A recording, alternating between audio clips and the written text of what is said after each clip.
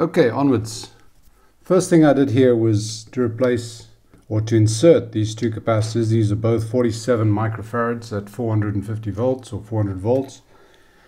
And that is in place to replace the function of that dual cap at the bottom, which, as you can see, just was falling apart. So the cap has been left in there, but it's completely unconnected. It's there just for aesthetic re reasons on the underside.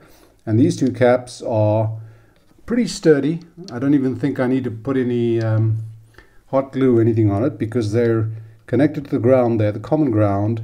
And then I created these little ringlets where the respective uh, wires fit in and then are soldered. So that is done. That cathode bypass capacitor for the ECL 86, 83, whatever, for the output tube the uh, resistor was 150 ohms. It was actually reading 150 ohms, but it was pretty pretty charred. Um, so it looks like it had been stressed somewhat. Here's that resistor. Looks like it's been through the wars, and then this is the capacitor, and you, as you can see, it's been spilling its guts. So that got replaced. And then the other one The other one is that one over there. That's this guy. This is a 4 microfarads. The positive is connected to ground. This is in the discriminator circuit of the FM. Um, again, another one that's been spilling its guts. Don't know what the value is, but I'm sure it's leaking like crazy. Now, as far as electrolytics on this side, I don't think there's anything inside the FM box, but as far as I can see, that's about it for electrolytics. And um, which is good news because I don't think we need to change these other capacitors. Just for testing, I un uh, unsoldered this one from there. So I can get one of these mustard caps. There's quite a few of them in there. These are mostly in the signal path where high voltage is concerned. And I want to test this guy. I want to see what the um, leakages, if anything, on there and if, um, if it's fine, it means I don't have to replace any of the others. So what I've done is I've prepared the capacitance leakage tester and I'll show you and see what we get out of that. Now this capacitance leakage tester is the one I designed and built and uh, I've got a series on it. I'll link to the first video above. Um, and I'm going to place this. This is completely floating.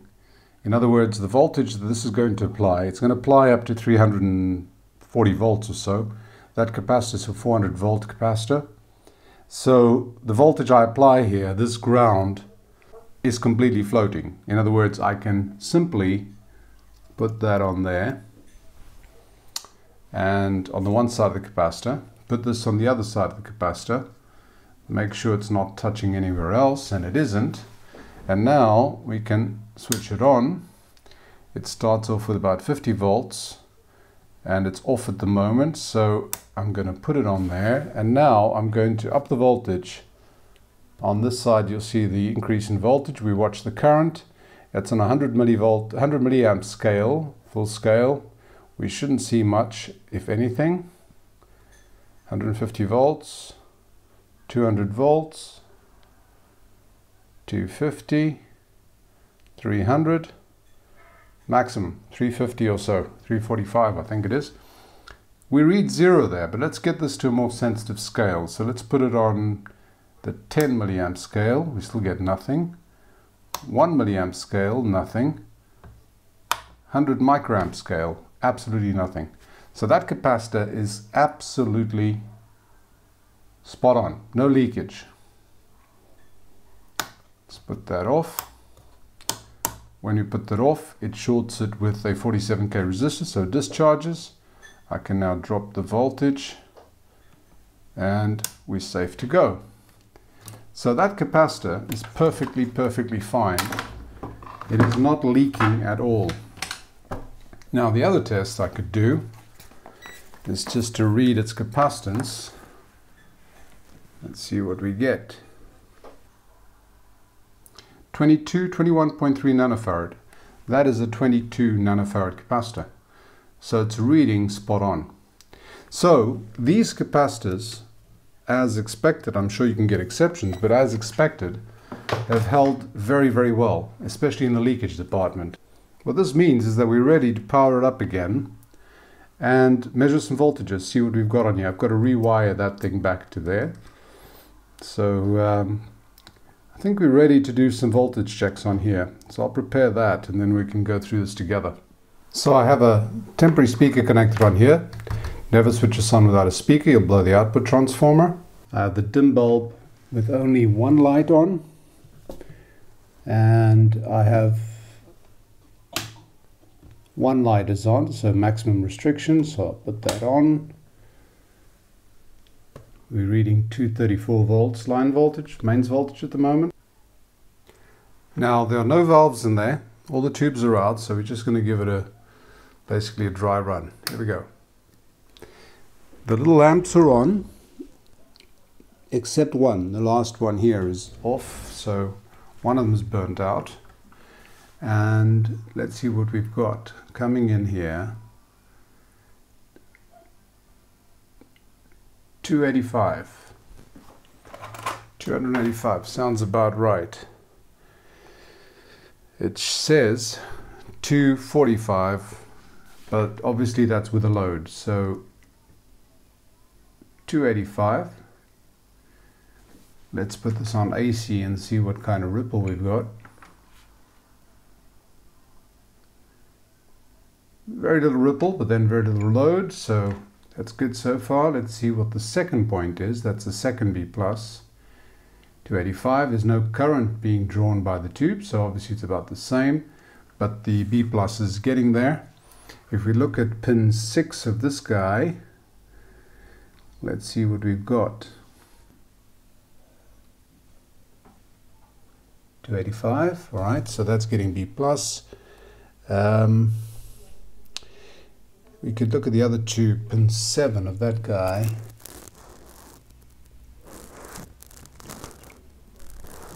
It should be, I believe it's that one there.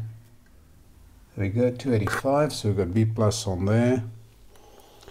And if we go a bit further back, we should get the other tube, which is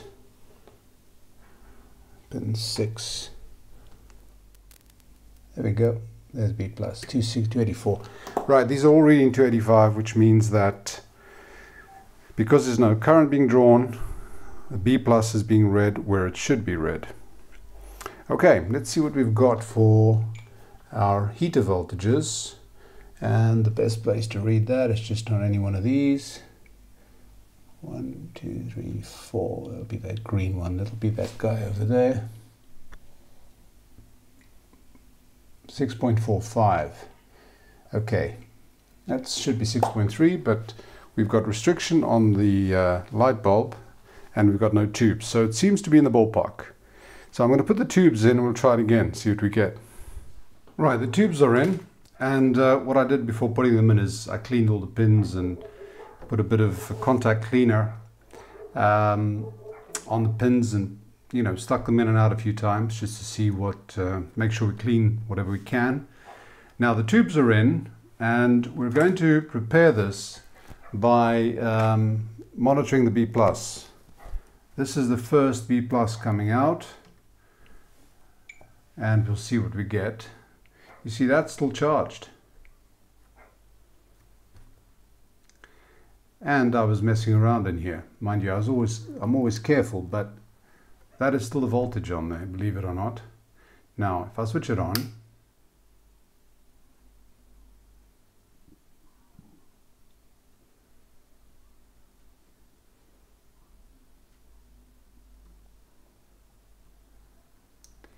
the dim bulb came on just slightly. The two little lights on front on the front here are on, the two that are working. I can see some heater heaters on in the tubes the voltage is coming down as the tubes start to conduct and we should hear something. And we are. And guess what we're not hearing? We're not hearing the hum. We're hearing some because this is uh, open, but we're not hearing that hum that the filter caps were giving us. Oh, that's brilliant. All right. Now I'm going to reduce the restriction. I'm going to increase another light bulb on here, so we're reducing the limiting uh, effect of the dim bulb tester. There we go. Now we've got some noise. Noisy pot as well. I'll reduce it even further by adding the other light bulb, the third light bulb, and the fourth. Now this is practically, there we go, practically no restriction. We've got um, equivalent of 200 watts light bulb in there. The line voltage coming to this is measuring at 230, it's drawing 100 milliamps. And we've got the noise without the hum. Perfectly silent. The pot is noisy obviously, but other than that, I think it's a go. Let's try the other B plus, the second B plus, 202. And what we're supposed to have there, should be able to see it on the schematic. The first one was 245, the second one doesn't say. It does, it does, it says 213. So that's pretty good, that's pretty good, 213. Now that is with, um, it changes slightly depending on whether you're on FM or AM. Let me try change one of these. This is a real bitch to move. Don't even think I can, but anyway. I'm not getting any tuning, which is fine, but um, at least I've got the voltages right. And the hum is gone. So the next thing I'll do is clean the pots and clean the, um, I've got to clean the switch. Okay, I've done a bit more checking on some component values. There were a few solder connections that were iffy here. So I freshened those up and um, let's put this on now. I've got uh, uh, an antenna out there. It's a mini whip that I use. I've got that connected to the back. I've got it, I believe it's set to medium wave. Judging the last position is phono. I think that's medium wave. So let's see what happens. Oh, that's tone. That's power and volume. As you can see, those two lights are on. That one is dead. I'll have to change that out. Let's see if we get some noise. Ha!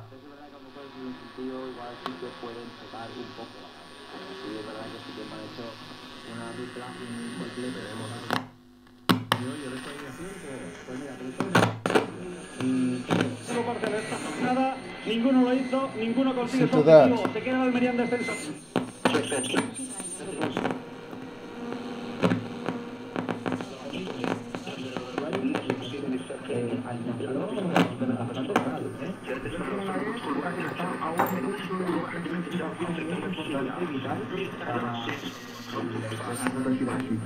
يعني يعني درت انا لونطوراج تاعي جبت الناس يعني ميم لي زونسيون جوار اللي كانوا يلعبوا معايا حطيتهم في الفئات الشباب Can't understand a thing, but it sounds brilliant anyway. Canary Islands. Guacaso, Metan e Ibai y arriba Sobri. Estamos ya en el tiempo. Pues nos quedan segundos Este encuentro. Otro buen resultado para el Huesca, que ha tenido muchos favorables esta jornada, ese empate. A ver, bueno, ¿no? Sí, parece que le ha apartado un poquito a Belardo. Una. Pero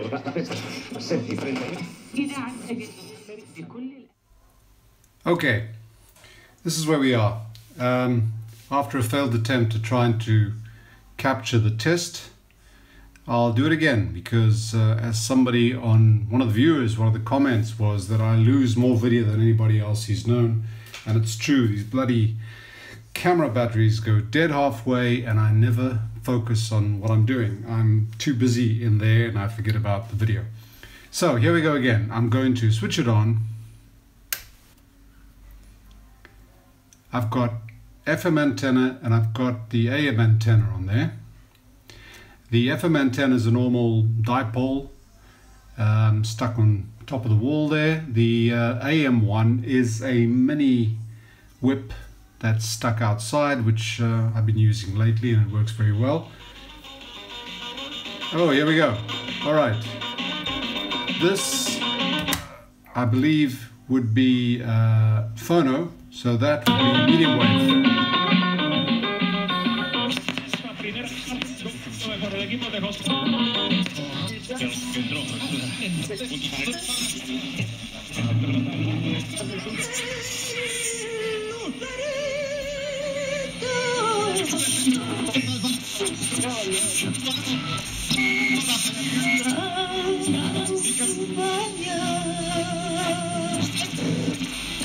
Thank you.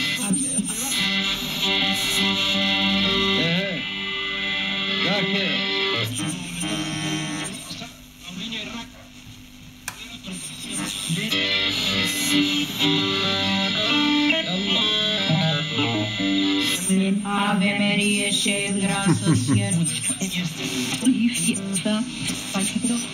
Okay, that's medium wave. Let's try long wave from the end.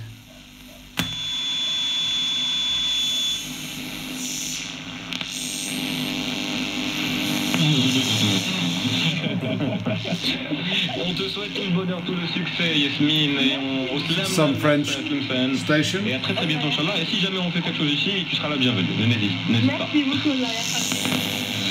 Bon, depuis, ça marche plutôt bien. J'ai fait chanson français et tout. donc, Another euh, French station. Non, euh, pas forcément, mais euh,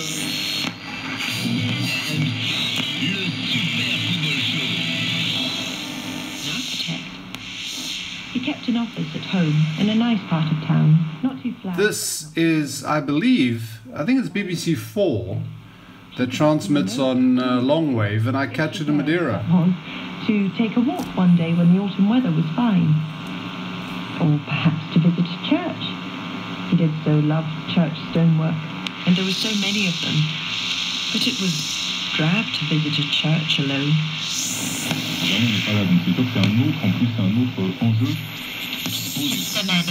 وألف بالعاصمة الفرنسية لكن ولادة الإذاعة ولحن المرور إلى هذه الخطوة.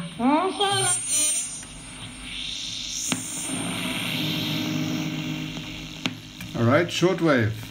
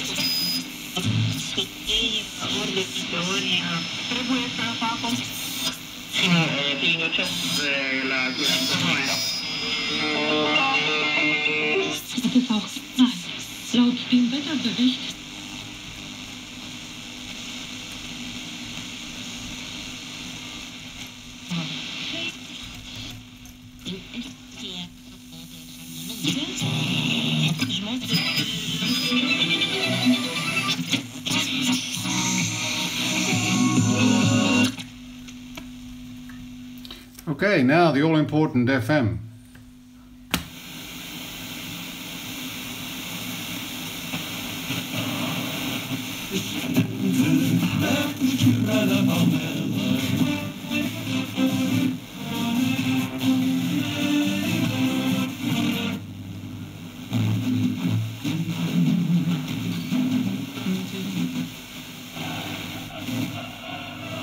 Well need a bit of alignment.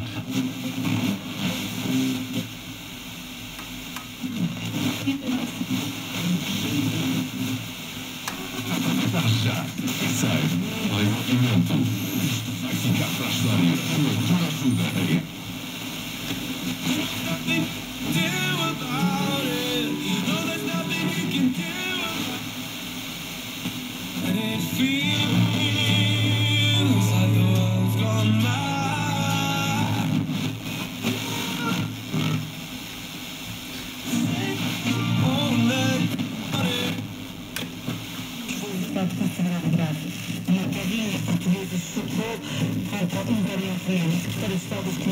trying the antenna all sorts of directions, but it's not the best. Try the AM antenna. No, um, FM is a little disappointing. So I'm probably going to check out the tube and then check the alignment. But anyway, um, what I was doing while the um, while the battery is being charged to redo this part of the video is I cleaned up this whole section, you know, the, the knobs in some warm water and um, you put it in warm water with, with some uh, dish soap, leave it there for a while, and then you clean it up properly. Everything comes off. Same with these guys. Really, really new. And uh, generally, because of the condition this is in, this thing cleaned up very, very well. And so this thing is ready now for an alignment. So I think what I'm going to do is um, I'll take some time to study the data sheets. I want to check this tube again, maybe replace it with another one because as I said, the FM is pretty disappointing. The uh, AM bands are very, very clear. Um, that mini whip is what I have to thank for this because it really does produce some pretty amazing results for the size of it. And if anybody's worked on or knows what a mini whip is, it's so small that it, it shouldn't work. But, um, and if you haven't tried it, you should because I didn't believe it and it took me ages before I finally got to doing it. And I'm based here in Madeira in the middle of the Atlantic. So uh, I wasn't expecting much. I used to use a long wire, about 30 meters or so. And I was quite happy with the result actually, surprisingly. And then when I tried this mini whip, it's it was amazing. Um, everything just came to life. Long wave, I used to get absolutely nothing. Now I'm picking up some BBC station from the UK, which has surprised the hell out of me. Um, so yeah, you should probably try it if you play with these radios. Now uh, the next stage is to do a little bit of cosmetic repair also on the on the body. There's not much to do, just cleaning and then putting this back together, giving it an alignment probably, because I don't know what the state of the um, of the alignment is on this thing. This thing, the switches are fine. The switch is fine. The uh, volume and tone controls have been uh, cleaned out with contact cleaner, and so they're not scratchy anymore. So everything seems to be a-okay here, except for the FM, which I expect is probably alignment and maybe this, this tube. Um, I've got that tube in stock here anyway, so it should be easy enough to just put in another one that I know works very well and see if it makes any difference. Alternatively, it could well be the antenna that um, at this time of day, which is night, might be a problem. But this is going very, very well, and it's been a pleasure working on this because it's actually very, very simple because most of the capacitors that you'd normally change on a normal tube radio, which are those paper and oil and things like that, are not here. These have used uh, ceramics. Those ceramics last longer than Cher and, and cockroaches. So we've had no worries with that. Um, obviously, a couple of little quirks like that burnt out, well, not burnt out, but that charred um, cathode resistor of the power tube. There's certainly been quite a bit of power going through there, and you can see the result on the uh, on the transformer. There's a bit of a burn mark on there, so quite a bit of power went through there. I've uh, dropped the mains voltage to, well, I've set it to 240, so obviously this is working at a slightly lower voltage than it was before, but it makes it safer for the tube, certainly increases their life, and um, yeah, okay, so I'm going to finish for now and when I come back to you it'll be for the alignment and then the final fitting um, and final testing. Right, bye for now. Thanks for watching. And if you like this stuff, please subscribe. It's always welcome.